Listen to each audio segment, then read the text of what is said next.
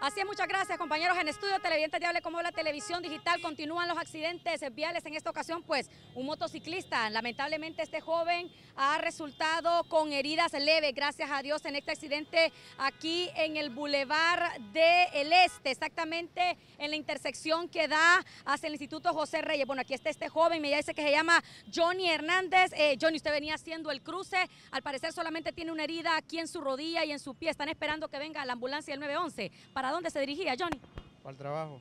¿Y qué fue lo que sucedió? ¿Usted venía haciendo el cruce por acá? Sí, el un carro primero es, y de ahí el otro hizo el alto y el otro se metió. ¿No creías vos que te iba a llevar? ¿Querías que ibas a lograr pasar sin, sin ningún problema? Es que primero se metió uno y, frenó y de ahí el otro se metió. Este es un cruce bastante peligroso, ¿verdad? Sí. Ahora, pero ¿qué es lo, qué es lo que sentís acá? ¿La rodilla o qué otro dolor sentís? No, solo el raspón, el dolor. ¿Tu nombre me dijiste, Johnny? Johnny.